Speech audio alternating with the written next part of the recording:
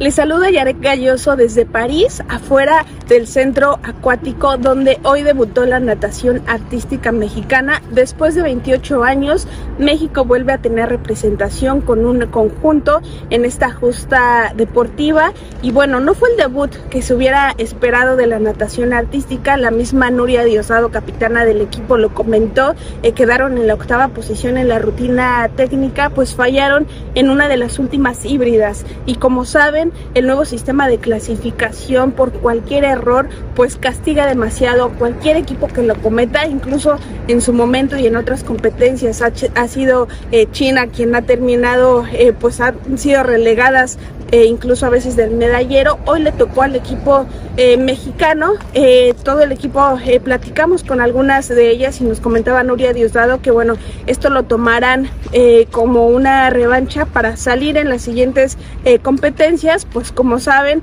todavía falta la sumatoria de la rutina libre y también de la rutina acrobática donde se disputarán las medallas el próximo 7 eh, de agosto y después continúa todavía la participación de Nuria Diosdado y de Joana Jiménez en el dueto. Eh, y Nuria estará pues diciendo así adiós a, un, a una justa de este tipo aquí eh, en Francia el equipo mexicano venía con mucha confianza, pero la verdad es que al momento en el que empezaron a desplegar las calificaciones, en la espera eh, de la puntuación, pues no fue la reacción que hubieran esperado, sin embargo fueron muy cautas al momento de ver la calificación y pues evidentemente España y China potencias, bueno pues terminaron en las primeras posiciones, en esas posiciones de privilegio.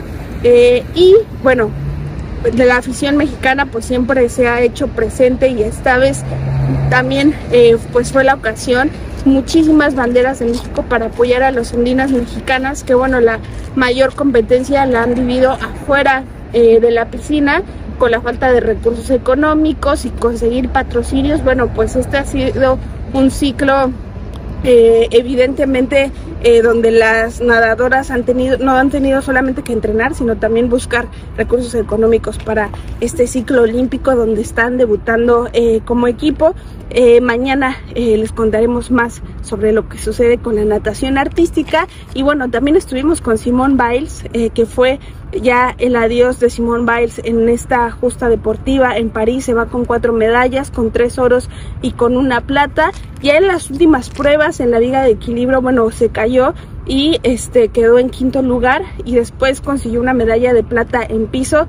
Eh, Rebeca Andrade, la estrella brasileña, bueno, fue quien se consiguió la medalla de oro y les voy a contar eh, esta imagen en la que Rebeca Andrade consigue la medalla de oro y Simone Biles por un lado con la plata, Jordan Childs por el otro, eh, le hacen una reverencia, esta es una foto y una imagen que ha eh, volado por el mundo porque pues habla del fair play, del juego limpio, también en una justa de este tipo continuará la actividad eh, de los mexicanos aquí afuera del centro acuático, tanto con la natación artística como con Osmar Olvera en el trampolín de 3 metros. Eh, también Alejandra Orozco, doble medallista olímpica, y Gaby Agúndez avanzaron a la final para buscar medallas en la plataforma individual de 10 metros. Recordemos que ya compitieron en sincronizado y quedaron en la quinta eh, posición. Habrá que ver qué hacen en lo individual.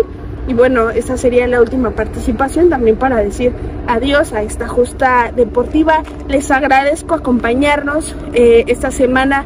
Eh, nos encaminamos hacia el cierre de la clausura de la justa deportiva más importante del mundo que se está realizando aquí en París. Y bueno, vamos a continuar llevándoles la mejor información.